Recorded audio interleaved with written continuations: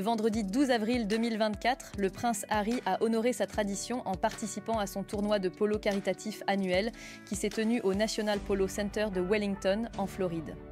Accompagné de sa ravissante épouse, Meghan Markle, et sous le regard des caméras de Netflix, le duc de Sussex a été entouré par près de 300 personnes. Devant ce public enthousiaste, l'ancien couple royal a affiché une complicité et un amour palpable, captivant l'assistance. Ce tournoi est bien plus qu'une simple habitude pour le prince Harry, c'est devenu une véritable tradition.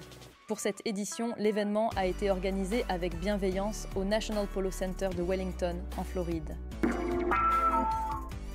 Bien que la compétition soit amicale, la présence de la star du polo, Nacho Figueras, en témoigne.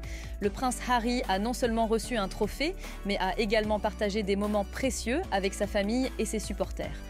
À l'âge de 39 ans, le prince Harry a troqué son costume pour revêtir un polo bleu floqué au nom de l'équipe du Royal Salute Santebal.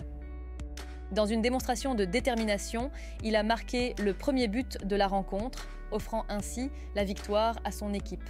Son exploit a été chaleureusement salué par une foule enthousiaste venue assister à ce tournoi caritatif, dont les bénéfices sont destinés à soutenir les enfants atteints du VIH au Lesotho et au Botswana. L'événement a rassemblé 300 personnes triées sur le volet qui ont généreusement contribué à la récolte impressionnante d'un million de dollars pour l'association Sentebal. La présence de l'épouse de Harry, Meghan Markle, âgée de 42 ans, a ajouté une touche de glamour et de soutien fervent à l'événement. Elle a exprimé sa fierté et son admiration en gratifiant son cher et tendre d'un baiser affectueux pour le féliciter de sa brillante performance.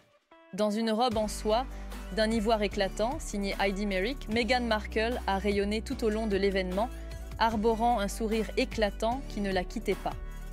Sa tenue, nouée avec élégance dans le dos, dévoilait subtilement sa silhouette, ajoutant une touche de sensualité à son allure déjà impeccable.